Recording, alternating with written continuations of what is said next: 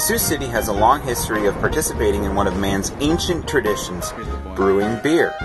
In the 1860s, Rudolph Seltzer opened the first brewery in Sioux City, followed by Sioux City Brewery, which in the 1870s was one of the largest breweries in Iowa. Despite two prohibitions, Sioux City was the off and on home of two other breweries, Sioux City Brewing and Interstate Brewing. Many locals remember the famous Heidelbrau beer produced by the Sioux City Brewing Company until they closed in 1958. More recently, the popular 4th Street Brewing Company sold pub food and great beer until closing in 2002. Despite this rich and malty past, Sioux City, the fourth largest city in Iowa, is without its own brewery in the middle of a craft beer renaissance. We are about to change that. My name is Dave Winslow. I'm a storm chaser, 8th grade science teacher, avid gardener, father, and obsessive home brewer. Jackson Street Brewing will be a microbrewery and taproom. What this means is that we will brew beer on site and sell this in regular glasses, growlers to go, and we will start a small scale distribution of cakes to local bars and restaurants.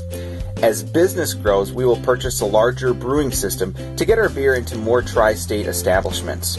Starting a brewery is an incredible undertaking, but we don't mind a challenge. We own a two acre orchard that's already producing apples and pears for hard cider and we grow large quantities of pumpkins, raspberries, apricots, and nearly a dozen varieties of hops. We want to showcase the freshness of local ingredients and show that Iowa can produce some outstanding beer. In our property search, it was very important to stick to our core principles of being downtown and close to other attractions and businesses. This is the front of our leased building at 607 and a half 5th Street, right in between Nebraska and Jackson Street people who are attracted to microbreweries and places like mine are attracted to the, the experience of just uh, sharing something enjoyable with their friends and family. Bringing in new businesses is good for business. And if there's, we're, we're all very supportive of each other. In the past year, I've brewed well over 50 batches of beer these recipes have been made over and over again, and we've served beer at several events to gain customer feedback.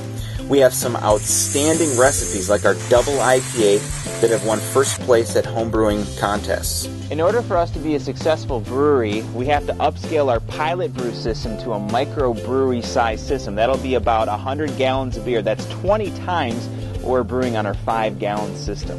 We are putting almost all of our own savings into this project along with countless hours of sweat equity into our leased property. The more money we can raise, the more fermenters we can afford, and for you, that means more unique brews to try.